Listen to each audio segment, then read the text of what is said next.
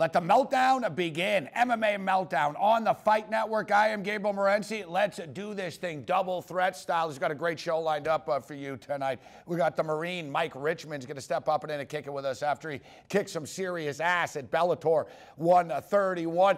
Joey Oddessa is always kicking ass, the premier combat sport odds maker in the business. We'll crunch some numbers with Joey. We got some huge fights around the corner. We got Hendricks and Lawler. Joey's all fired up for Jones and Cormier. And you know what? So am I. I'm freaking stoked for that fight, and we expect to be in Las Vegas, Nevada for that fight. But speaking of numbers, uh, let's uh, let's bring in a man without further ado. Like Krusty the Clown, no monologue tonight because my feet hurt. Let's uh, cut the small talk. And speaking of numbers, let's bring in a man who was uh, just victorious a couple of weeks ago. He was a four to one favorite. We liked him. He cashed the ticket. He kicks some serious ass. The Marine Mike Richman steps up and in. Mike, uh, thanks a lot for taking the time to be with us, man. How you doing? I'm doing great, guys. Yeah, thanks for having me on. I appreciate it. So, uh, Mike, congratulations uh, on the win. Imagine, you know, to put that in uh, in baseball terms, sort of like a home run, isn't it? You crush the baseball over the fence. How, satisf- how, how satisfying is it to get a first round stoppage win like that? You know, it, it always feels it, it always feels good to get in there and get a you know a knockout victory, TKO victory.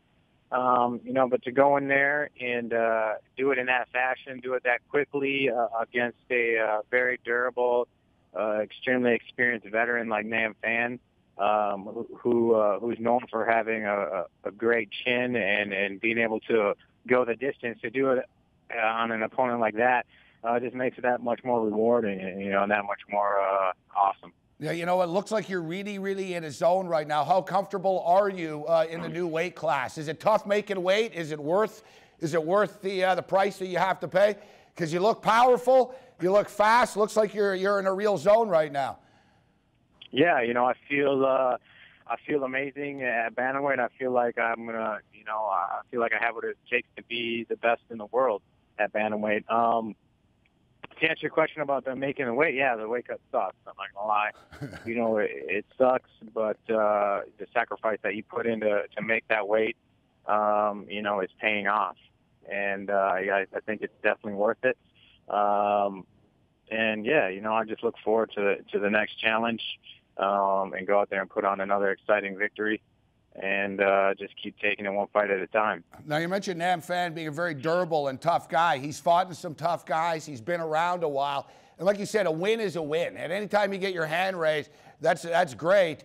But you know, you almost get noticed more, don't you? More people talk about it after with, with holy crap uh, type of things. And everybody that we told that you were coming on the show said the same thing. Oh yeah, yeah, man, he really messed up, Nam Phan. It just sort of gets people talking more, doesn't it? And there's so many fighters out there right now. It's tough to sort of, you know, get your name out there, isn't it? Yeah, you know, um, it's definitely. Uh you know, you got you got to put on great performances. You got to put on an exciting fight, like you said. Uh, you know, winning is great, but uh, you know, to go out there and win like that, you know, you, you're trying to you're trying to do it in front of a big audience. That was a big stage. That was a big opportunity for me to to go out there and show more of the mass public, uh, you know, that I'm for real, that that that, I, that I'm a fighter to you know to take seriously and, and to watch my career and watch me grow.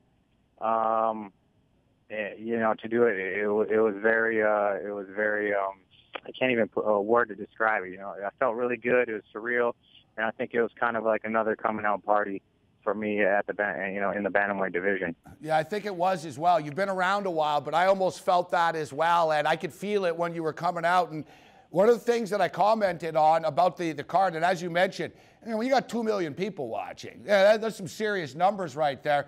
Looks like Scott Coker's uh, influence has been positive. There were some critics about the way that the fight was promoted uh, with Bonner and with Ortiz. But in the end, mm-hmm. you guys are trending on Twitter. In the end, you got millions of eyeballs on all the fighters, so it's good for everybody. And the production was slick as hell.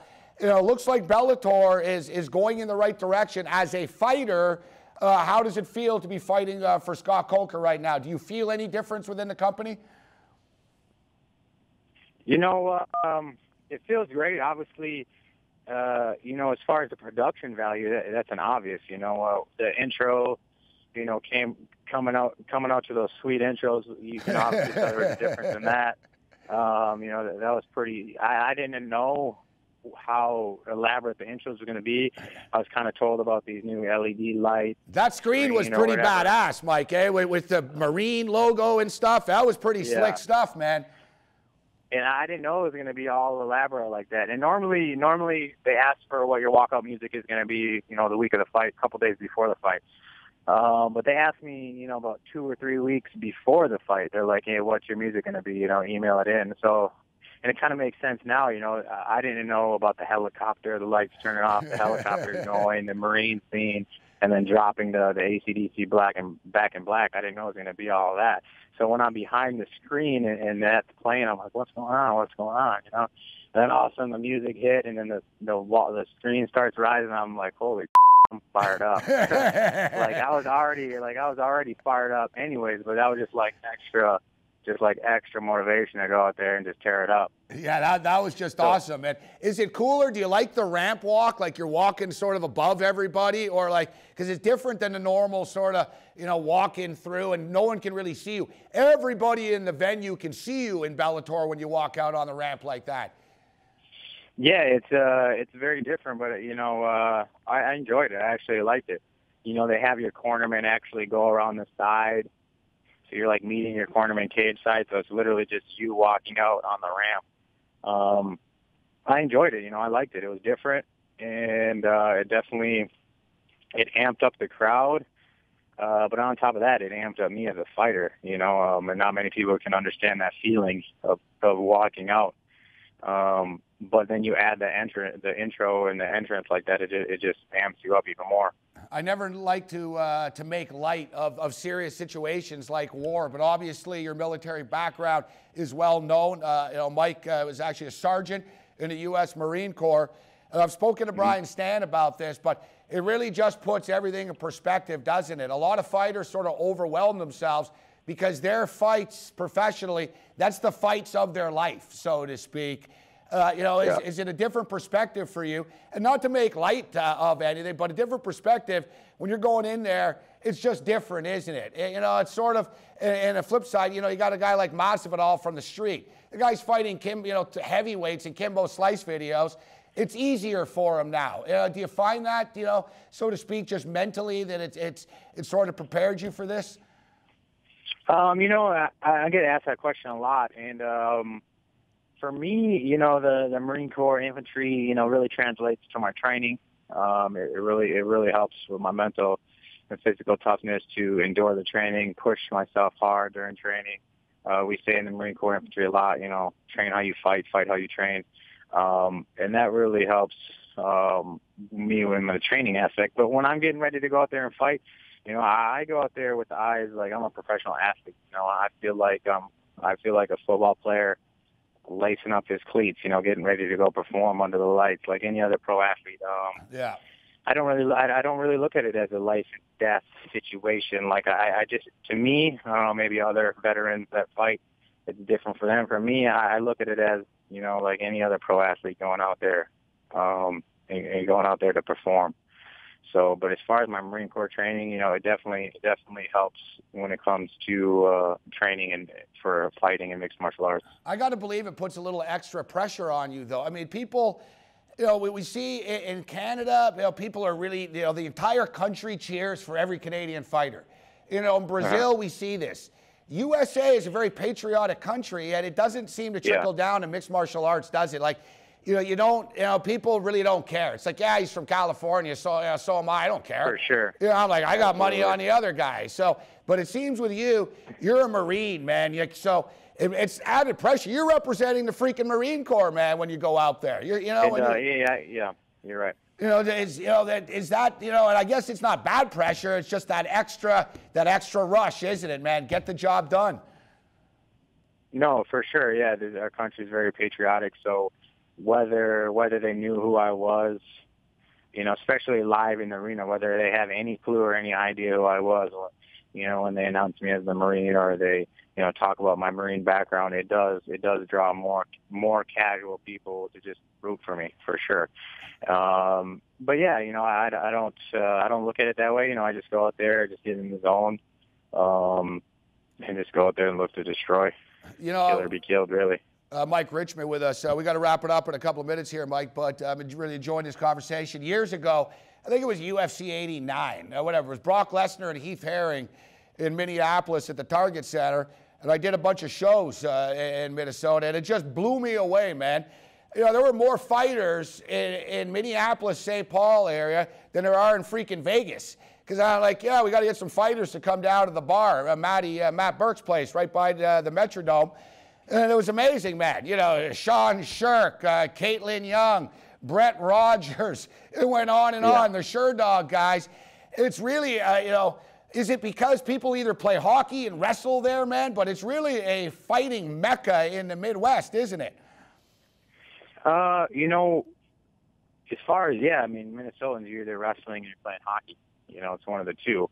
Um, but yeah, there was an era where we had a lot, uh, you know, a lot of big name fighters out of Minnesota. Now we're kind of hitting a new, a new generation of guys that are come working up there, you know, working up the ranks here in Minnesota and getting that exposure. Uh, but you know, I, I believe Minnesota MMA scene is growing and growing. It could always be more and more. Um, but yeah, you know, the Midwest, you know, I, I would say Midwest.